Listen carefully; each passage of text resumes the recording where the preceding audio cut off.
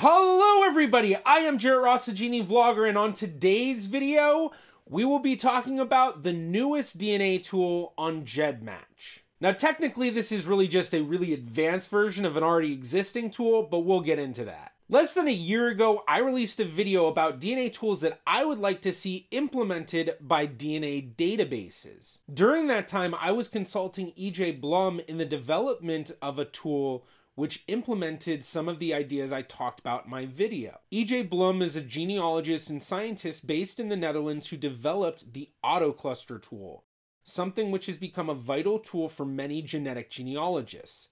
The AutoCluster tool takes a person's DNA matches and then clusters them together based on people matching each other, making it so each cluster represents a specific branch of the family. But the AutoCluster tool has a problem people with certain types of ancestry won't be able to utilize the tool, such as Jewish populations, French Canadians, and more. The issue is that these populations have a history of endogamy, the practice of people from a certain population group only having children with others from that same population group. When this happens for many generations, the descendants of those population groups end up all being related to each other many times in distant multiple ways, making it so the auto cluster results become useless because it creates one big blob of a cluster because everybody is a shared match. A year ago, EJ reached out to me about developing the auto cluster tool to be able to work for endogamous populations. I accepted and we began to discuss how to make the tool work for these population groups. And after a lot of trial runs and small tweaks, the tool is now live for all GEDmatch Tier 1 members. The AutoCluster Endogamy tool works very similar to the original AutoCluster tool, although it now takes into account more filtering options which are based on genetic genealogy techniques used in endogamous genetic genealogy. The first big new option is setting a minimum average segment size filter, something I honestly wish was also available for filtering on the one to many list. GEDmatch Qiagen, I know you're watching, but average segment size is one of the most common techniques used for endogamous genetic genealogy. This idea is based on the fact that being a descendant of a endogamous population means that you're going to be distantly related in many ways to everyone else who's part of that same population group. And the more distantly related you are to someone, the smaller the DNA is that you're likely to share with them.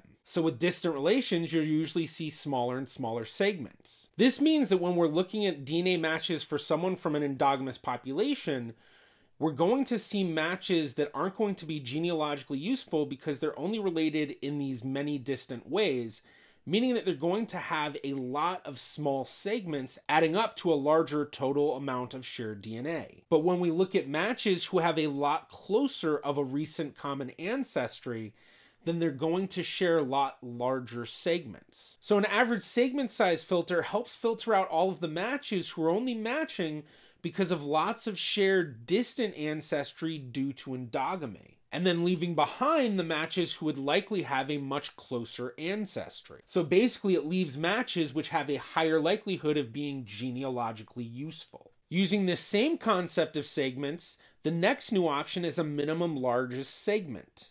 While this is not a new type of filter for match lists, the expanded option of indicating the number of largest segments is a very new concept for genetic genealogy filtering. One thing I've even mentioned to EJ as a possible expansion to this is indicating a largest segment and a second largest segment. So maybe we'll see something like that roll out in the future. Either way, I'm really excited for other genetic genealogists to be able to utilize this option and see if there may be unexpectedly helpful ways to make use of it. Now, the biggest addition to this new advanced auto cluster is the shared match filtering section.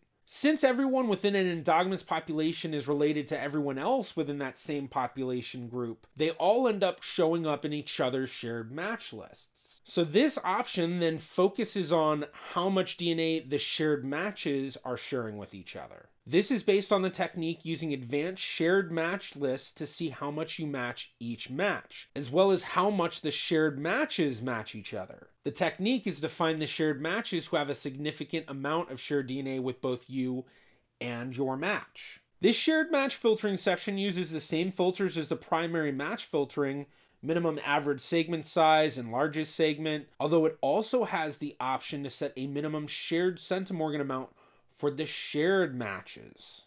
There are a few preset options to choose because how endogamy affects DNA matching can vary between different endogamous population groups. So we set these results based on what we had seen so far in the results from various population groups. The default is the not endogamous option, which has similar settings to the regular auto cluster tool, although it takes into account the average segment size of 8 centimorgans. The somewhat endogamous preset ups the minimum shared centimorgan between shared matches to 20 centimorgans and may be most useful for people where endogamy only has light effects on DNA results, such as those from colonial American population groups. Next is the endogamous preset, which brings the minimum average segment size up to 10 centimorgans and the minimum largest segment to 20 centimorgans.